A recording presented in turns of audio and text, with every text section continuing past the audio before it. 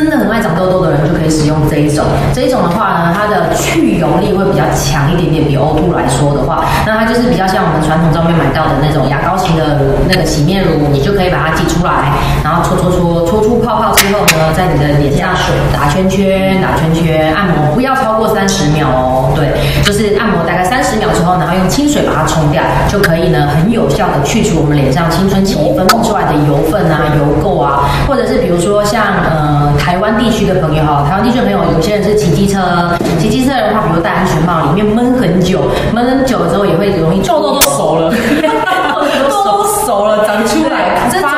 这种你也可以使用这种去油型的，然后祛痘型比较好一点的这种这种清洁好的。痘痘型的这种洗面去油垢，使用方法就是搓出泡泡，在脸上按摩，不要超过三十秒哦，然后用清水把它冲掉，洗掉。掉就可以了。然后呢，个人